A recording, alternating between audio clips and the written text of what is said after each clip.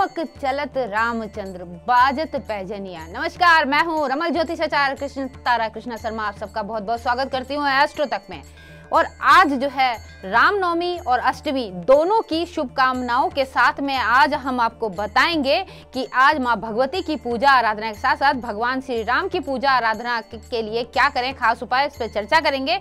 मगर उससे पहले राशियों के अनुसार आज आपका दिन कैसा रहेगा? आज का जो शुभ समय है, सुबह प्रातःकालीन साढ़े छह बजे से लेकर सात बज के पैंतीस मिनट तक का समय रहेगा। दान पुण्य का कुछ भी निकालना चाहते हैं, सामान निकाल दीजिए अच्छा रहेगा।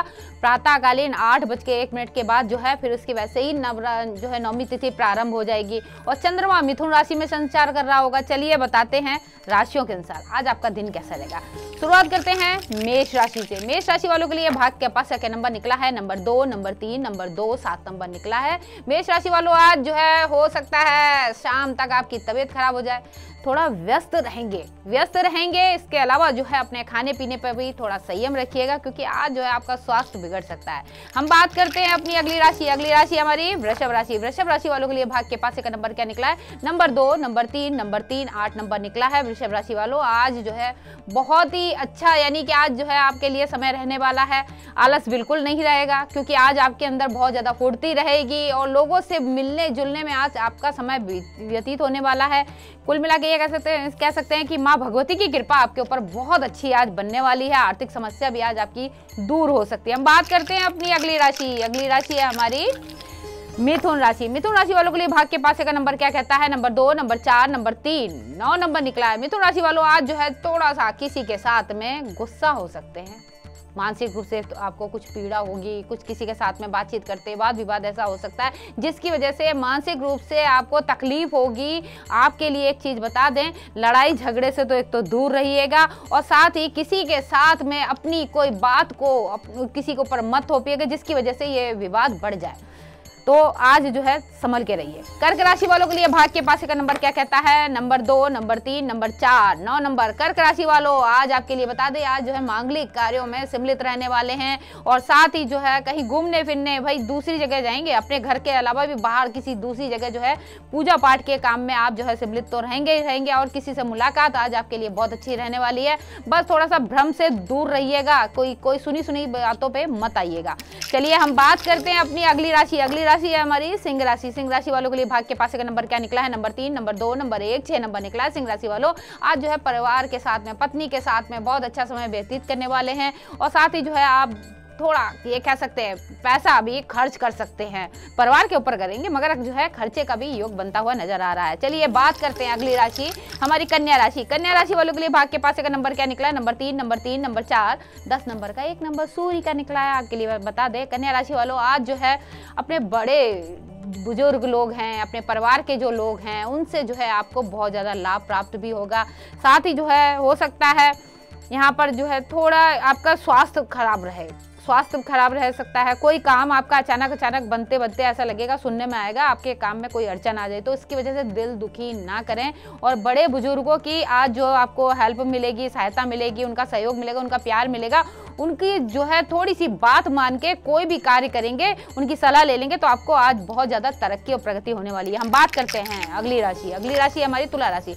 तुला राशि वालों के लिए भाग के पास का नंबर क्या निकला है?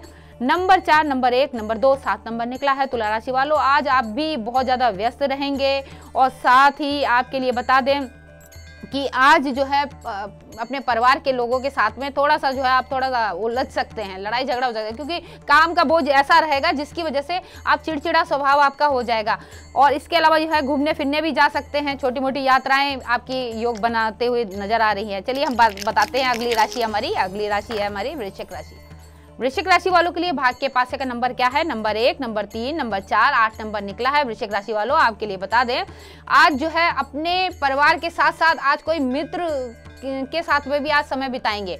कोई जो मित्र है, उससे जो है आपको फ़ायदा भी होगा और बाहर जाने की कोई बातचीत जिसकी चर्चा आज घर में चलेगी, जो आपके लिए बहुत ज़्यादा उत्तम रहेगी और साथ ही चर्चा वो भी चलेगी जिनके वैवाहिक जीवन में बहुत समय से अड़चन आ रही होती है, बातचीत, कोई रिश्ते नहीं मिल रहे होते तो हो सकता है आज विवाह के संबंध की बात भी आपके लिए उन्नति होगी करें। चलिए, हम बात करते हैं अगली राशि। अगली राशि हमारी धनु राशि। धनु राशि वालों के लिए भाग्य के पास का नंबर निकला, नंबर तीन, नंबर दो, नंबर एक, छह नंबर निकला। धनु राशि वालों, आप लोगों के लिए बता दें कि जो है, आपका जो छह नंबर है, ये बताता है कि आज आपकी जेब हल्की होगी, साथ ही जो है, खर्च कहाँ होगा? पिता के लिए और माता के, यानी अपने परिवार के ऊपर आपका खर्चा हो सकता है। उनके स्वास्थ्य पर थोड़ा सा यहाँ पर थोड़ा स्वास्थ्य उनका कमज़ोर नज़र आ रहा है। इसके अलावा जो है आपके लिए ये चीज़, ये भी है कि आज जो है वाहन वगैरह जब चलाएँगे तो थोड़ा सावधानी बरतिएगा क्योंकि वाहन वगैरह चलाने से हो सकता है कि कुछ जो है किसी के साथ में एकदम टकराव हो तो लड़ाई झगड़े के भी योग बन जाते हैं। बात करते हैं अगली राशि। अगली राशि है हमारी मकर राशि। मकर राशि वालों के लिए भाग के पास का नंबर क्या निकला है? नंबर है दो, नंबर है एक, नंबर है चार, सात नंबर निकला है मकर राशि वालों। आपके लिए बताया संतान पक्ष की तरफ़ से आज थोड़ा सा बहुत ज़्यादा प्रसन्न रहने वाले हैं। हो सकता है संतान की तरफ़ से कोई अच्छी खुशखबरी मिल जाए, जिनके जीव, यानी संतान वगैरह नहीं है, हो सकता है वो गर्भवती महिलाएँ भी अपने परिवार को आज खुशखबरी दें, उनके लिए भी बहुत आज का दिन शुभ रहने वाला हम बात करते हैं अगली राशि। अगली राशि हमारी कुंभ राशि। कुंभ राशि वालों के लिए भाग्य पास का नंबर क्या निकला है? नंबर चार, नंबर दो, नंबर चार, नंबर दस, नंबर का एक नंबर सूर्य का निकला है। कुंभ राशि वालों, आप लोगों के लिए बता दें कि आपके लिए जो यहाँ पर दिखाई दे रहा है कि आज अपने बड़ों से, अपने माता के साथ में या पिता के साथ में अनबन हो सकती है। थोड़ा सा जो है भ्रम पैदा हो सकता है, लड़ाई झगड़े का इस तरीके से थोड़ा सा आपका मूड ऐसा रहेगा। खराब रहेगा, बात कुछ और होगी, मगर उसका जो गुस्सा है, वो अपने परिवार के लोगों के ऊपर आप निकाल सकते हैं। तो ऐसा मत करिएगा, क्योंकि बड़ों के साथ में लड़ाई झगड़ा करने से आपका सूर्य और चंद्र कम, कमज़ोर हो सकता है। तो ध्यान दीजिएगा, ऐसा मत करिएगा। हम बात करते हैं अगली राशि। अगली राशि हमारी मीन राशि। मीन राशि वालों के लिए भाग्य के पास का नंबर निकला, नंबर दो नंबर दो, नंबर एक, पाँच नंबर निकला। मीन राशि वालों, आज बहुत अच्छा रहने वाला है। आज जो है, यात्रा का भी योग बनता नज़र आ रहा है, और जो है, साथ ही जो है, अपनी वाणी से आज किसी को प्रभावित भी करेंगे। वाणी से प्रभावित होने के कारण जो है बहुत सारे आपके मित्र भी आज आपके बन सकते हैं। कोई ऐसा नया मित्र आपके लिए आप बहुत ज़्यादा अच्छा भी रहेगा। मित्र का बनने का जो योग है, वो आपको बहुत ज़्यादा प्रभावशाली और लाभकारी दोनों चीज़ें बना सकता है। वो क्योंकि जो मित्र है, वो बहुत ही ज़्यादा खास मित्र आपका है, जो आपके लिए जीवन में बहुत ज़्यादा तरक्की करेगा। अब चलिए हम बताते हैं। आज जो है रामनवमी, माँ अष्टमी की पूजा आराधना भी आज के दिन होगी। तो माँ की पूजा आराधना जिन, जिनको नौमी पूजनी है, वो आज नौमी भी पूजेंगे, अष्टमी पूजनी है तो अष्टमी पूजेंगे। कुछ लोगों ने जो है, भाई, कल के दिन जो है अष्टमी पूज ली होती है तो ऐसा नहीं है। उदय तिथि से जो हम, हमारी शुभ तारीख जो है प्रारंभ होती है, हम उसी को मानते हैं तो यहाँ पर अष्टमी और नवमी दोनों को मानेंगे।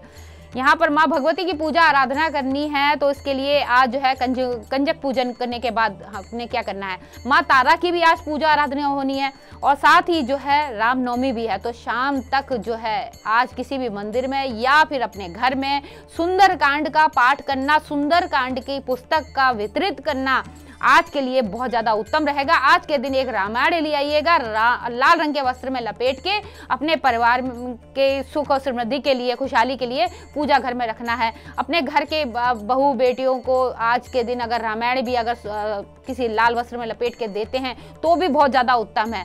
जब कंजक पूजन करते हैं तो माँ तारा की पूजा की बात हमने कहा है कि दस विद्याओं में माँ तारा की पूजा का बहुत ज़्यादा योग हम मानते हैं, बहुत ज़्यादा महत्व मानते हैं। क्यों? क्योंकि हमें सब विद्या, सारी सिद्धियों की प्राप्ति, ये माँ तारा की वजह से ही हमें प्राप्त होती है। एस्ट्रो तक में हमारे साथ जुड़े रहिए और देखते रहिए। एस्ट्रो तक मुझे दीजिए इजाज़त। जय महादेव।